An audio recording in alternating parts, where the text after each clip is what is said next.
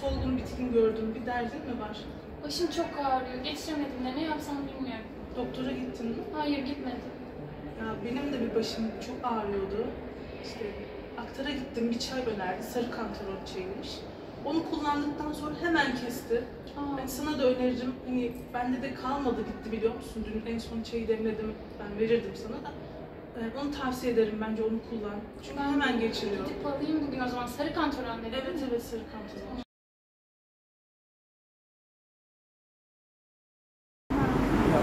Benim uzun süredir başım zorluyor. Doktora da gitmek istemiyorum. Komşum bir şeyin çayını içmiş. Sarı bir şeymiş. Çok iyi. Sarı kantaron. Evet evet ondan. Ben ondan alabilir miyim? Baş ağrısı. abla. Baş ağrısı için de geçerli. Kas ağrısı için, eklem ağrısı için de geçerli bilgiler. Dep bir de yani böyle sinirliyseniz, depres şeyiniz, depresyondaysanız falan e, siz rahatlatır içtiğiniz zaman.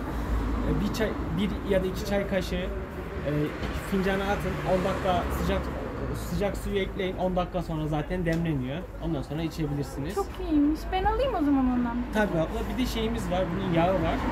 Yağı da mesela kışın e, e, uçuk için işte ellerdeki yaralar için falan kullanılıyor. Bir de sıcak tutar yani e, şeyinize sürdüğünüz zaman.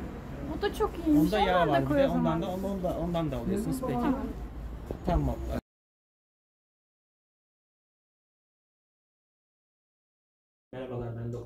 Adınızı öğrenebilir miyim? Merhaba ben Beyza. Beyza Hanım şikayetiniz nedir acaba?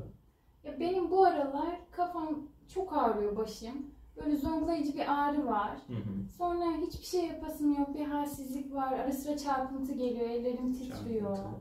Bacaklarım şiş gibi hissediyorum. Şişkin hissediyorsunuz. Anladım. Peki bu şikayetleriniz daha önce de var mıydı yoksa bu aralar mı? Ya ara sıra olurdu ama son zamanlarda çok arttı. Sonra ben anlıyorum.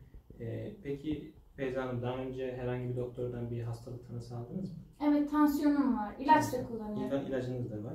Düzenli kullanıyor musunuz ilacınızı? Evet düzenli kullanıyorum ama son zamanlarda sanki hiç kullanmamışım gibi. Anlıyorum. Son zamanlarda peki böyle bir şeye neden olabilecek herhangi bir değişiklik oldu mu hayatınızda? Yeni bir şey kullanıyor musunuz? Hayatınızda bir olay gerçekleşti mi? Ya son zamanlarda komşumun önerdiği bir çay vardı. Baş ağrısına iyi gelir dedi.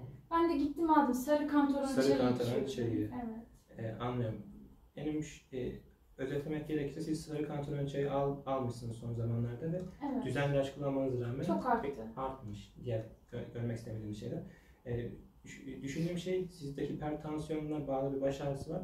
Ee, bu baş ağrısında sarı kantaron çayı tetikliyor ve arttırıyor. Çünkü sarı kantaron çayı ilaçların etkisini de düşürebilir. Tansiyon ilaçlarının etkisini de düşürebilir. Aynı zamanda da belirtileri de arttırabilir. O yüzden e, sizden yapmanızı isteyeceğim şey şöyle. E, ilk önce çayı bırak, bırakmanızı istiyorum. Sonra bir hemşire hanımdan bir tansiyon ölçümü yapın. Eğer e, herhangi bir değişiklik olmazsa ya da daha kötüleşirse durumunuz bize bildirmenizi isteyeceğim tekrar gelmenizi. Anlamadığınız bir şey varsa sorabilirsiniz şimdi. Tamamdır. O zaman sarı kantaronu içmeyin ben. Aynen içmeyin. Ve bundan sonra da genelde yani hayatınızda her anlamda bir değişiklik yapmadan önce böyle sağlığınızı etkileyebilecek doktora danışmadan yapmayın. Özellikle bitkisel ürünlerde biz bunu çok görüyoruz. Yan etkileri çok oluyor. Tamamdır doktor bey. Bir daha doktor tavsiyesi almadan bitkisel ürün kullanmayacağım. Ee,